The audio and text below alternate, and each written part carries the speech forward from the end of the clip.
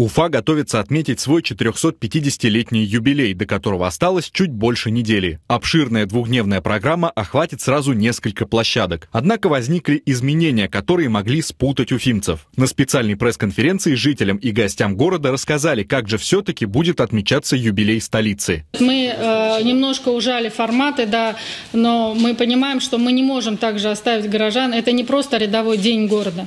Абсолютно. Это юбилей, который проводится раз в 50 лет. И э, мероприятия для людей все равно, они должны быть. На фоне отмены массовых праздников в других городах Башкирии и России в Уфе решили урезать всю программу. При этом добавив, что юбилей Уфы – это не развлечение целиком и полностью. Все мероприятия направлены на э, патриотическое воспитание, на историческую правду, на рассказ об истории Уфы, э, на рассказ о великих людях э, и великих событиях, которые здесь э, проходили и э, проходят именно под э, этим э, флагом именно с этими смыслами. То есть мы не воспринимаем э, юбилей города как развлекательное мероприятие э, исключительно. Да? 30 августа на фестивале «Сердце Евразии» в амфитеатре перед Конгресс-холлом Таратау уфимцы смогут послушать Ваню Дмитриенко, Алексея Воробьева, группу «Пицца» и ансамбль «Харизма Беларусь». А вот от выступления Сергея Лазарева на этом мероприятии власти решили отказаться. Уже на следующий день, 31 августа, там дадут концерт другие артисты. 31 августа э, в «Сердце Евразии» выступят также наши артисты. Это проект «Зенедин», Элвин Грей. Э, приедет, мы ее считаем своей, наша Алсу. Э, и э, также примет участие для молодежи мы пригласили группу «Хамали Наваи».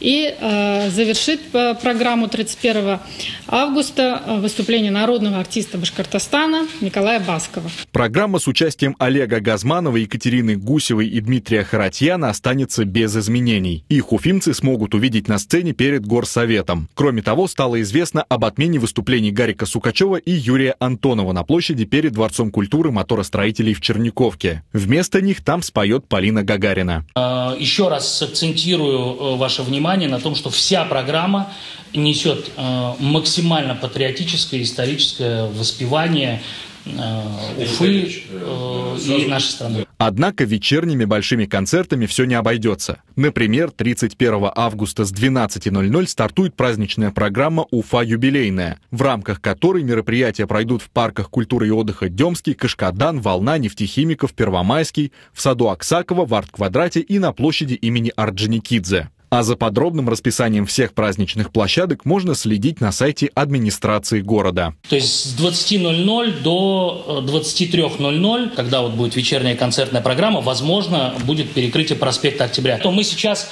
прогнозируемое количество людей на вечернюю программу. Если понадобится э, перекрытие вот именно в сторону проспекта для обеспечения безопасности зрителей, то оно будет, но это максимум 3 часа, пока э, решение на рассмотрение.